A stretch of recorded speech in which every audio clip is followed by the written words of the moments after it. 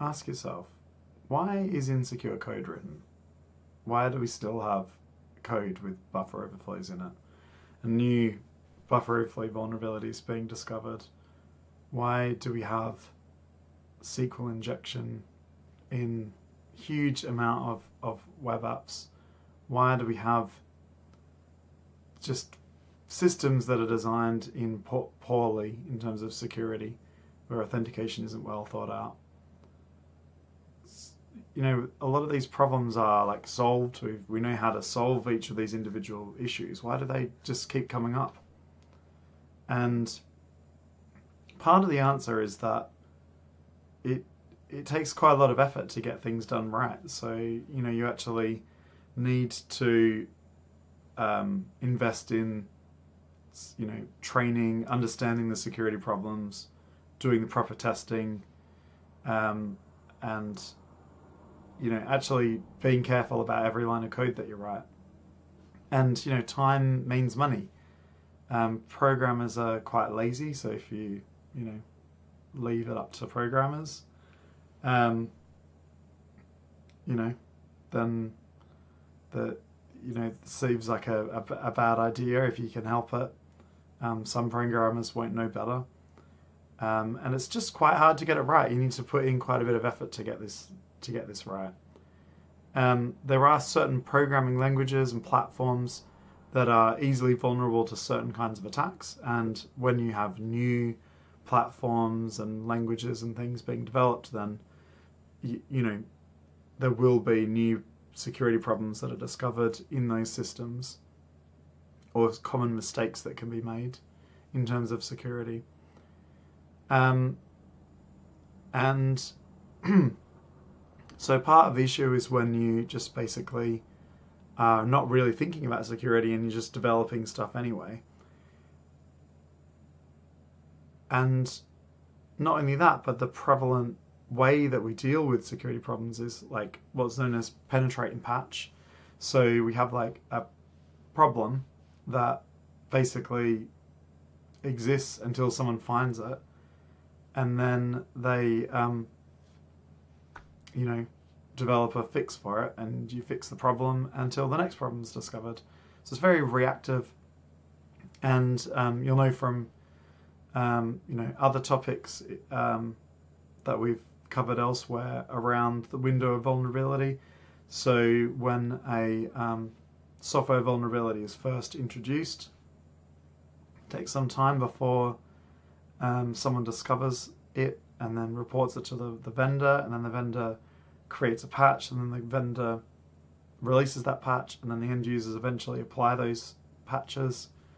Um, and everywhere in between is an opportunity for attackers because there's this window of vulnerability where cis people are running insecure software.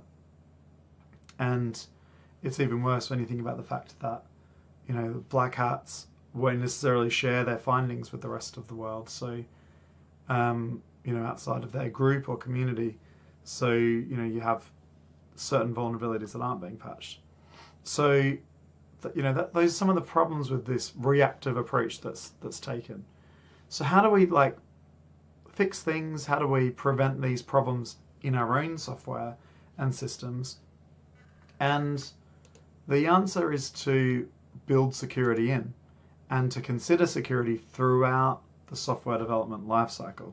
So in this video, I'm going to talk a, bit, a little bit about um, secure life cycles and some of the proposals that have come from you know certain groups, including uh, Microsoft, around how you can actually build in security to your development lifecycle. So, in general, security is is more resilient if you build it in rather than try and add it on later. So, you know, a good example of this is Windows itself. So, you know, Windows 95, um, 98, and Millennium Edition um, were all based on this um, version of the operating system that was for consumers, and it didn't really have any security built into it. Um, you know, didn't have any access controls to speak of. Basically, the password that you type in when you logged into the computer just changed the desktop icons and desktop background. It didn't actually stop what you're allowed to do on the system. It's just like it's just a customization kind of thing. Um, as opposed to Windows NT, which was um, developed originally for s- servers, and they did think about security more on that side of it. Um, and at the end of the day, when they were, you know, taking the product forward, they they basically ended up binning the um, you know Millennium Edition um, kind of um, stream and kind of went with Windows NT because it's a lot easier to um, make the changes and make make the security um, at the um, design phase rather than afterwards. So it's quite hard to try and patch something in if you've designed this whole system without thinking about security. It's practically impossible to then go back and add in all the levels of security that you would need uh, to make it a semi-secure system. And um, we'll see in a minute that Windows XP was not exactly a shining beacon of success at first on that uh, on that side either. But um, you know, you can see you know where they're coming from with it. So, so what we need to do is actually build security into the stages of development. So when we're doing our software development, we need to think about um, each of the phases of the um, software development lifecycle. We need to be thinking about um, you know how we build in security practices into the development of software. Um, and so that means we should be being proactive about it. And that means proactively designing and thinking about security while we are creating software, um, but also doing that automated analysis and using tools to help to basically um, tell us, you know, detect problems in our code uh, while we're developing it and, um, you know, before we release code. And then we can also, once we've released the code, follow secure practices to like try and find the um, detect security problems afterwards as well and do code reviews and things uh, and uh, on an ongo- ongoing um, sort of maintenance cycle. So in the early 2000s, Microsoft were facing numerous security problems. So Windows XP had been released and there were loads of bugs that were being discovered, being used in worms. So, you know, you had things like Blaster and, um, you know, all these um, huge high profile attacks against Windows XP systems. And also the IIS, the web server um, at the time, also was riddled with security problems. There's all this, um, because essentially Windows is, well, there's a few aspects of it. One is that Microsoft had not been doing what we were talking about. They weren't being proactive about, you know, considering security at every stage of the development at that stage.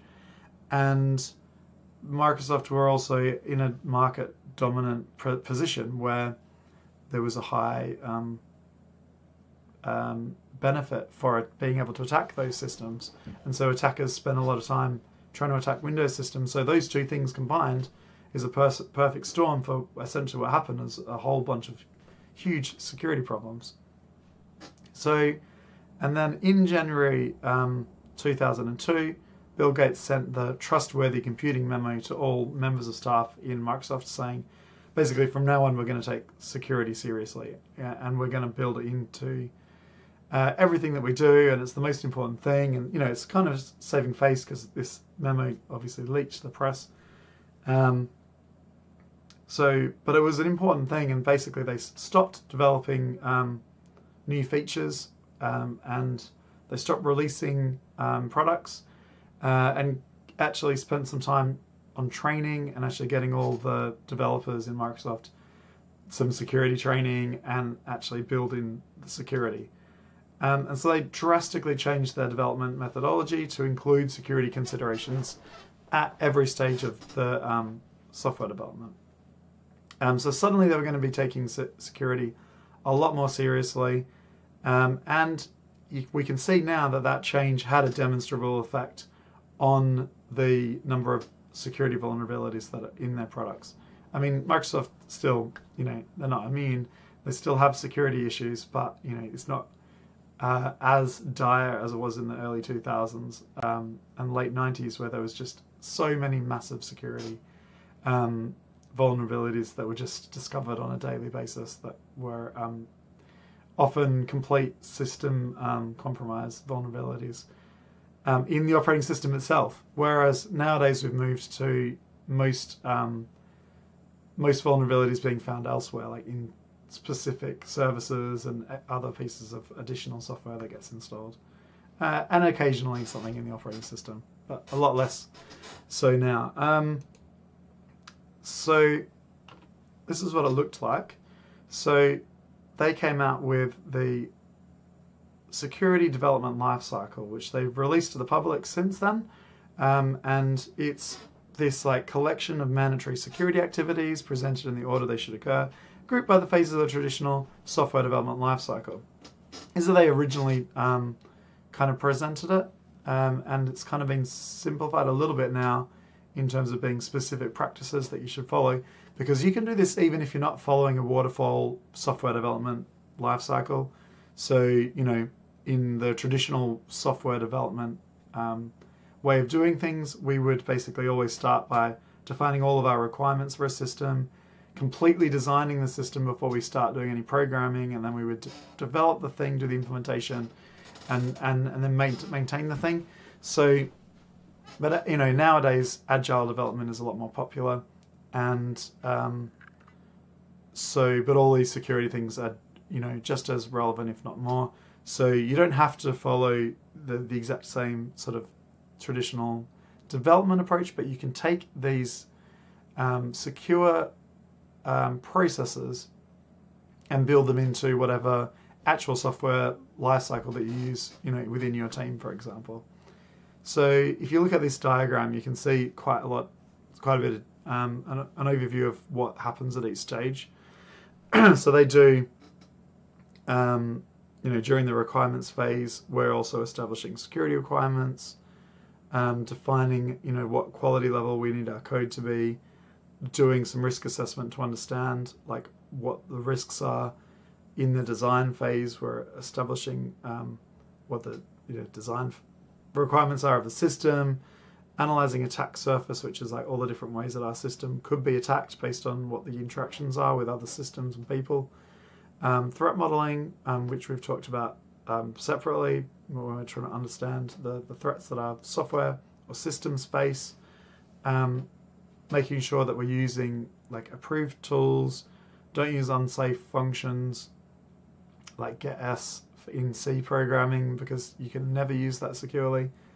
Um, use static analysis to detect problems in your source code as you're writing it. Use dynamic analysis to try and like fuzz test software that has been compiled. So like after you've developed the software, you can test it, kind of like um, of white, grey, or black box. Kind of basically you test it while the program's running. Um, include you know, and that can include fuzz testing, um, where we're basically like randomizing inputs. Um, do an attack surface review, which obviously is similar to this stage here. Uh, and then once we've released it, we do incident think about incident response, like how we actually respond to problems, and do a review of how it all went, um, and uh, and kind of then just sort of deal with problems as they come up.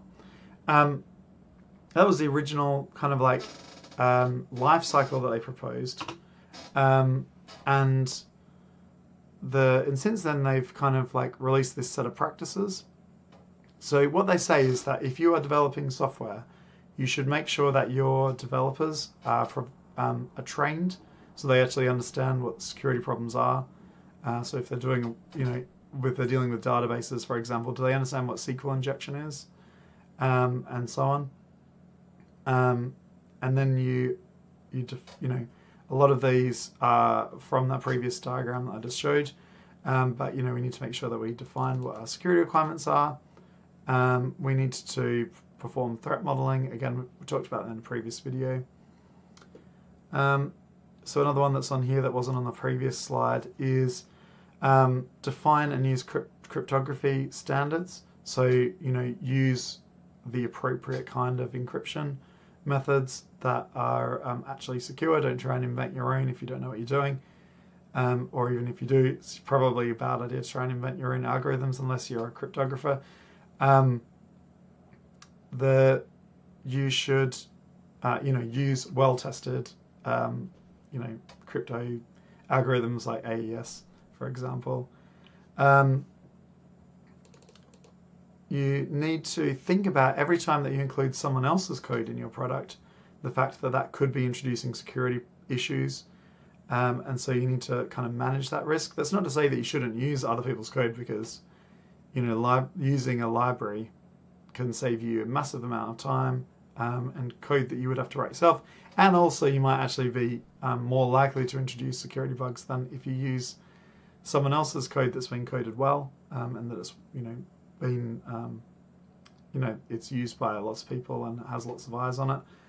Um, so you know, but you do need to think about that and manage the risk. Um, uh, again, that was on the previous slide.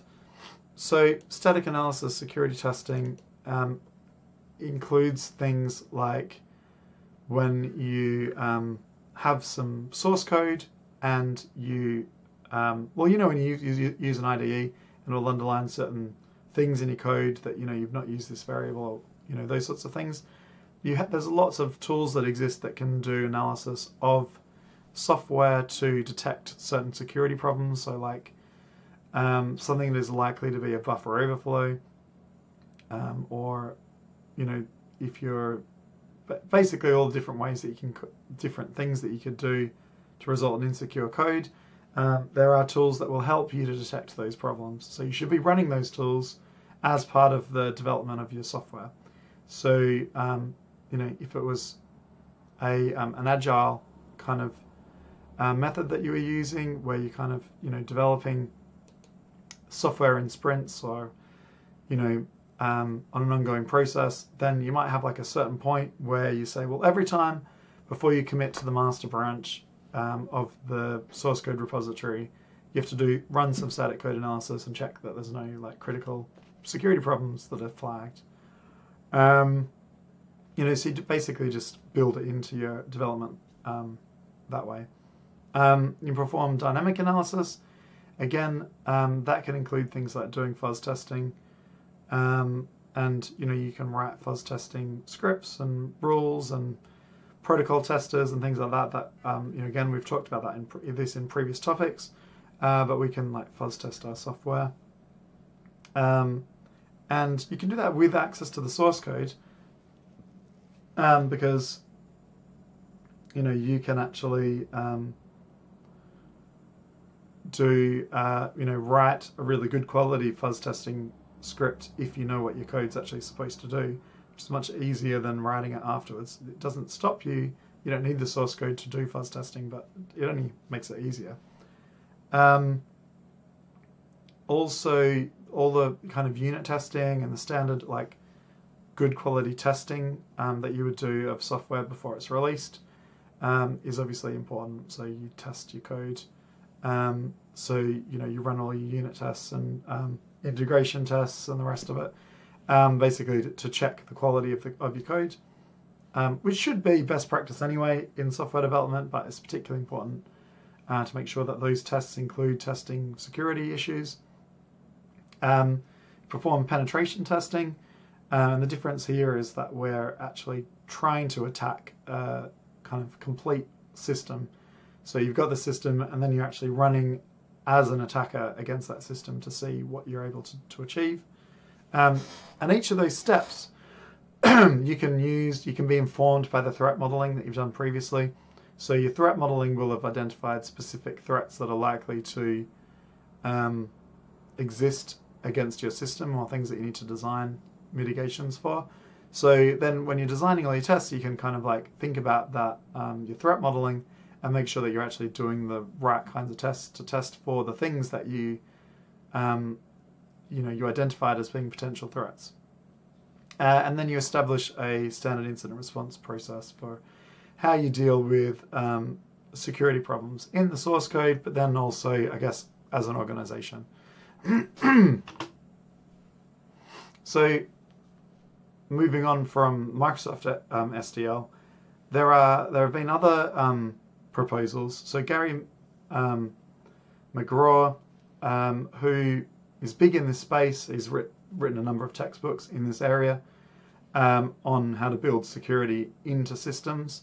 Um, has been a proponent since before, um, you know, all of the Microsoft um, change of you know the way that they do things. you know, he's been saying for a long time that we should be, be being proactive and building security into systems, um, and so he's proposed seven software security touch points.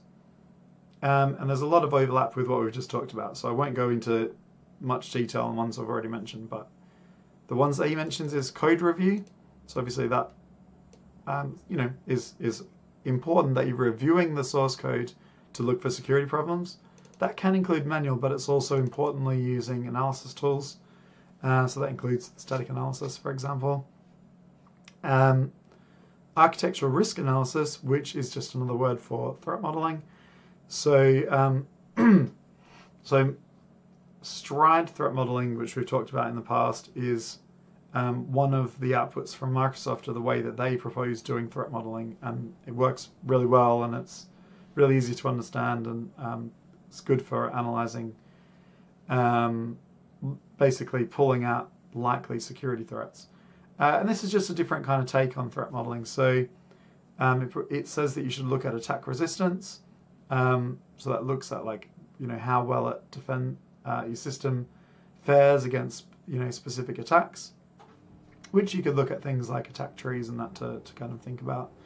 Um, there's whether um, you do ambiguity ambiguity analysis, so you can get a number of um, security folks to analyze a system and look for whether or not there's any ambiguity in its design, uh, which could lead to there being security problems, like if um, certain um,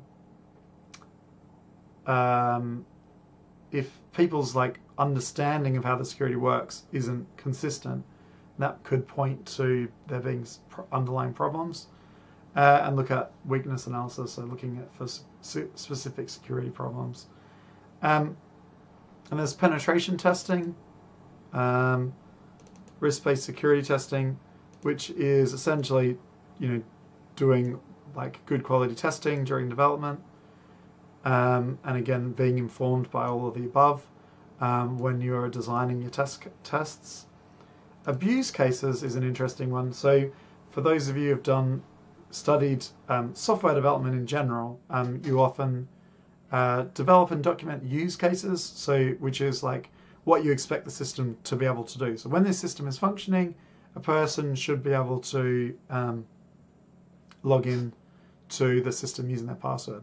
An abuse case is how uh, an attacker wants the system to work. So an abuse case might be to be able to log in without a password, and then you would kind of like um, go from there. So um, that it's it's a different way of thinking about it. So basically, documenting the ways that someone would try and abuse the system, um, which I think is a quite a clever um, quite a clever way of thinking about it. A bit different as well from what is usually um, done. So, you know, that's something that you could incorporate into your development life cycle is when you're thinking about the positive things you want people to be able to do, also think about what the um, malicious people are going to be trying to do. Uh, and then there's security requirements, which we've comes up a lot, obviously, because it's you know you need to be able to define what you're actually trying to achieve in terms of security, and then there's the operations. Um, so you know operationally how the security works in your system. Um, so a, separate um, set of guidelines comes from SafeCode, which is the Software Assurance Forum for Excellence in Code. Um, that organization publishes a document called Fundamental Practices for Secure Software Development Essential Elements of a Secure Development Lifecycle Program.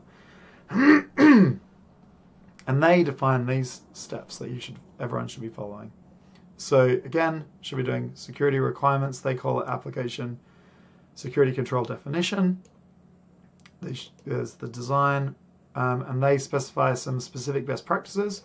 So um, this didn't come up in um, so far, but like making sure that the software like provides some accountability for what's happening, like do logging within the software, and there's threat modeling and a bunch of other things that should be happening at the design phase.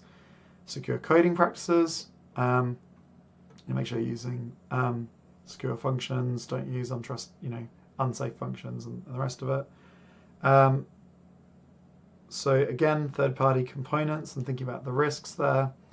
Again, testing and validation.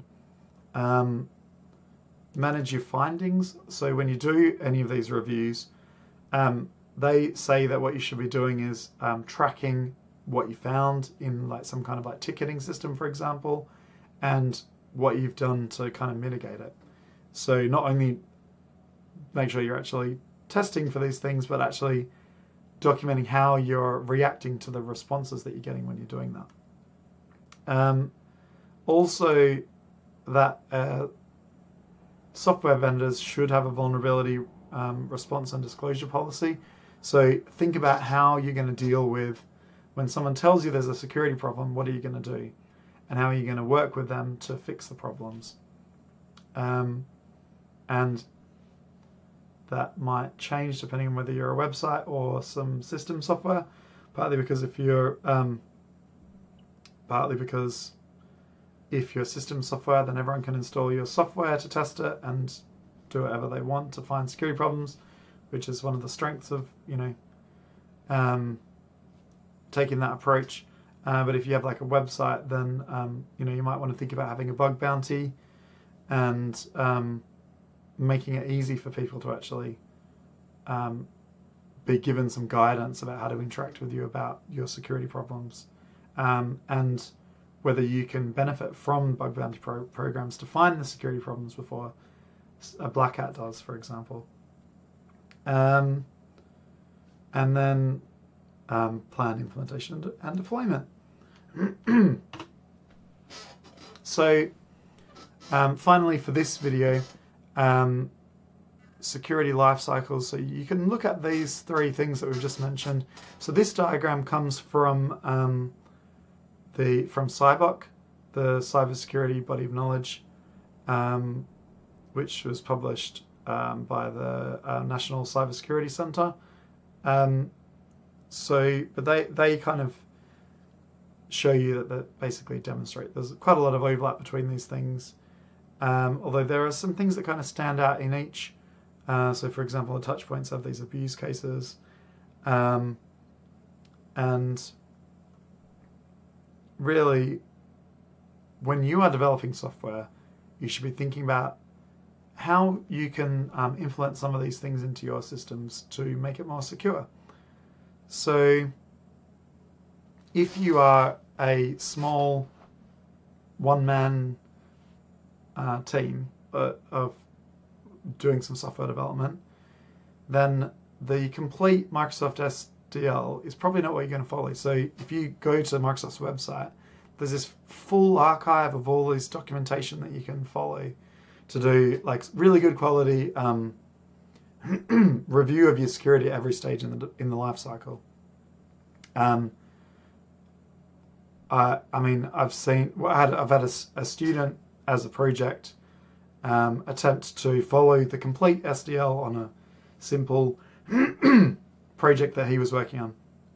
And the amount of documentation that he produced uh, for this like simple website was like about this much, um, like folder of uh, all the testing and and um, you know threat modeling and the rest of it uh, that he'd done um, on his on the system, and it's clearly it was not designed for that for like one person to you know complete all of the paperwork, for example, um, and so as it is, Microsoft SDL might be able to be used basically exactly as it is if you're a big enough team and you happen to follow kind of like a waterfallish kind of approach to software development.